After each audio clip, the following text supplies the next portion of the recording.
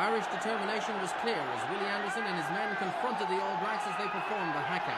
Anderson then sought encouragement from the crowd. They and and the players responded. really Ireland tore into the visitors from the start. New Zealand took their chances. Brian Smith scored two penalties but and missed others.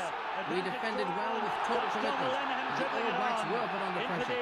But three excellent tries gave them a deserved win in the end, but it wasn't as easy as with the score shot. might suggest. Bachop puts in on halfway for the All Blacks. Feeds Fox. Out to Stanley. And this is Terry Wright up to halfway with Gallagher. Gallagher in support. So is Brewer on the inside. Gallagher into the draw. Great burst and great try for John Gallagher. Now it's Fitzpatrick in possession and Shelford. They've slipped it. Back it comes to Bachop. Now Fox. Schuster. The long one to Gallagher. Chance here. Terry Wright will score.